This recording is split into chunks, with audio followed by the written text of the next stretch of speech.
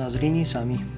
Optical fibre jointing से पहले जय वकू का पता होना ज़रूरी है, जहाँ पे ऑप्टिकल फाइबर केबल ब्रेक हो चुका हो। इसलिए ऑप्टिकल नेटवर्क टेलीकम्युनिकेशन के सपोर्ट के लिए ओ एक बेहतरीन ऑप्टिकल टेस्टर के तौर पे काम करता है।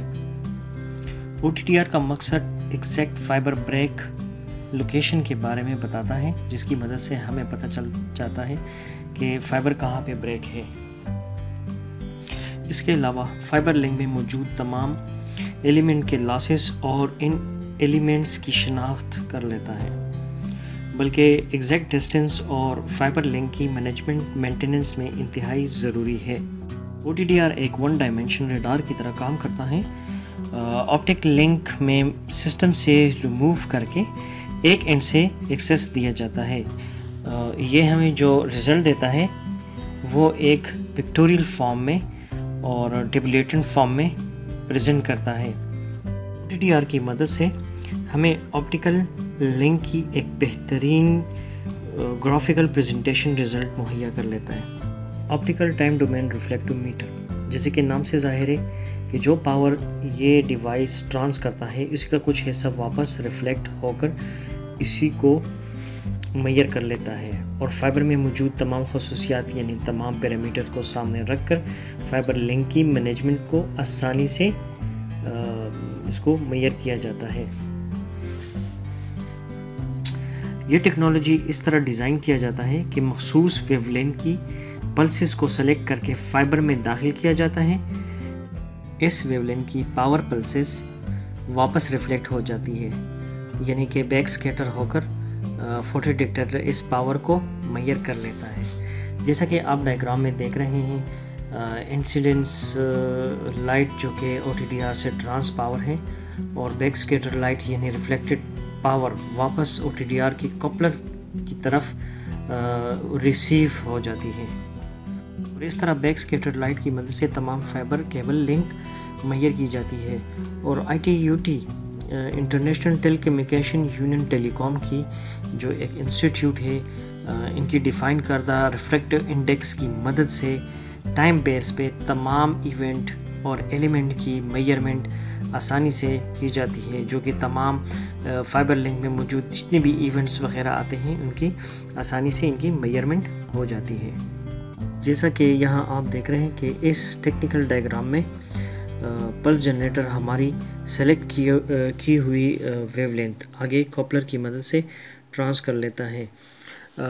इस यहाँ पे आप सिलेक्शन दे रहे, देख रहे हैं कि यहाँ पे आपको नज़र आ भी रहा है, यहाँ पे दो वेवलेंथ दी हुई लेमडा वन और लेमडा टू यहाँ पे डायग्राम में आपको दिखाई दे रहा है। ये लेमडा वन ये हो सकता है थर्टीन टेन नैनोमीटर का हो और नीचे वाला ये फिफ्टीन फिफ्टी नैनोमीटर का। लेमडा हो। इनमें से कोई भी सिलेक्शन आप कर लेते हैं ओटीडीआर में और इस लेज़र डाइवोड की मदद से, ये आगे कॉपलर की तरह, की मदद से आगे ट्रांस कर लेता है। और इस यहाँ पे जैसे कि आप देख रहे हैं कि रिफ्लेक्ट जो स्केटर बैक रिफ्लेक्टेड पावर है, वापस कपलर की तरफ़ ही आ जाती है। और एक कपलर की वापस आते हुए ये फ़ोटो डाइवोड की तरफ़, चूँकि ये पावर वापस आ जाती है और फ़ोटो डाइवोड इसको डिटेक्ट कर लेता है और इसको मज़ीद यहाँ पे एम्पलीफायर किया जाता है। और एम्पलीफायर होने के बाद यहाँ पे इनकी सैम्पलिंग एडीसी एवरेजिंग प्रोसेस में इनकी सैम्पलिंग ली जाती है। और टाइम बेस पे जैसे कि आप यहाँ पे भी देख रहे हैं टाइम बेस कंट्रोल एक मॉड्यूल है कंट्रोल यूनिट मॉड्यूल है। इसकी इन दोनों की मदद से इनकी सैम्पलिंग की जाती है और टाइम बेस पे इनकी फुल कैलकुलेशन होती है। जैसे कि मैंने आपको पहले बताया था कि रेफ्रेक्टिव इंडेक्स जो आई की डिफ़ाइन करता है, जैसे कि G five six five zero से लेके सिक्स फाइव सिक्स या सिक्स फाइव सेवन तक। इसके अंदर सिलेक्शन की जाती है ओटीडीआर में। आप जो सिलेक्शन करते हैं, उस बेस पे आपकी जो डिफ़ाइन करदा केबल हैं, उनकी पूरी मेयरमेंट की जाती है। और इस तरह टाइम बेस कंट्रोल यूनिट और जो दूसरा है सैम्पलिंग एडीसी एवरेजिंग प्रोसेस ये दोनों मिलके प्रोसेस करके तमाम पैरामीटर को कैलकुलेट करके आपको एक बेहतरीन रिज़ल्ट आपके सामने, तमाम इवेंट के रिज़ल्ट सामने पेश कर देते हैं।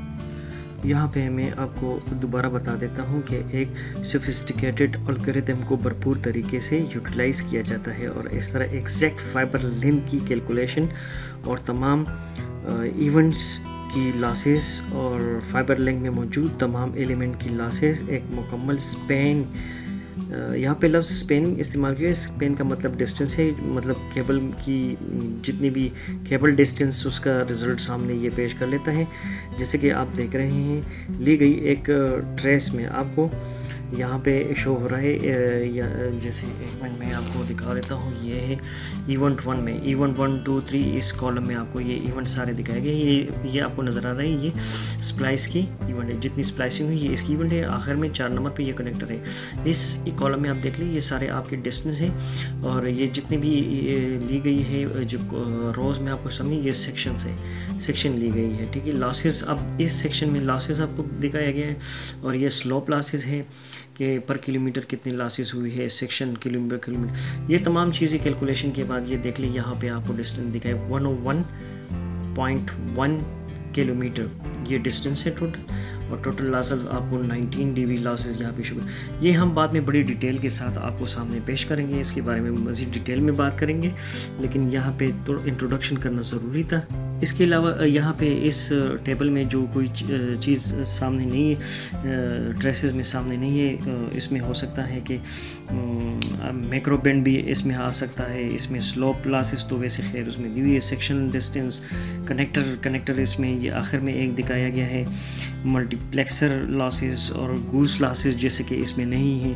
तो ये तमाम चीज़ें हम आगे बड़ी ब्रीफ और डिटेल में आपको बताएँगे। फाइबर लिंक में कोई भी फॉल्ट हो और आखिर में फाइबर एंड, यानी जहाँ पे फाइबर ब्रेक हो चुकी हो, जैसे कि आप यहाँ पे देख रहे हैं, यहाँ पे आखिर भी ये इवन जगह यहाँ पे फाइबर ब्रेक है। ठीक है, यहाँ कनेक्टर दी गई एंड ये इसका एंड है यहाँ पे फाइबर ब्रेक है। हो सकता है मैं आगे प्रैक्टिकल में आपको दिखाऊँ, कुछ और तरीके से नज़र आए, लेकिन यहाँ पे इसी तरह चुके हैं। तो इसको मज़ीद आगे, मज़ीद डिटेल में हम इसको डिस्कस करेंगे। घर के तमाम जितने भी एलिमेंट्स की पूरी डिटेल मौजूद है और इसकी रिज़ल्ट की बुनियाद पर फाइबर लिंक की मैनेजमेंट की जाती है। तो ये ओ बहुत बेहतरीन और बहुत ज़बरदस्त एक ऑप्टिकल फाइबर केबल टेस्टर है, जिसकी मदद से हम पूरी फाइबर लिंक की मैनेजमेंट कर सकते हैं और कोई भी नई फाइबर बजट लॉसेस प्लान करना हो तो इसकी मदद से हम कर सकते हैं। ये बहुत हेल्पफुल टूल है, बहुत हेल्पफुल डिवाइसेस है। इसके बारे में आगे मज़ीद हम इसके, अंदर इसकी प्रैक्टिकल भी करेंगे। ये तो थोड़ी बहुत हमने थ्योरी पढ़ ली, आगे हम मज़ीद इसकी प्रैक्टिकल भी पढ़ेंगे। अल्लाह हाफिज़।